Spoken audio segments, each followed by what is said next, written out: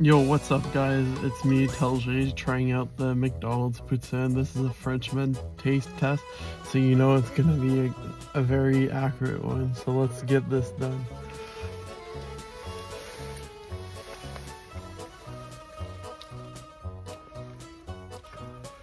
Uh, this is, this is, um, uh, seeming to be just a 7 out of 10. At least the gravy's hot.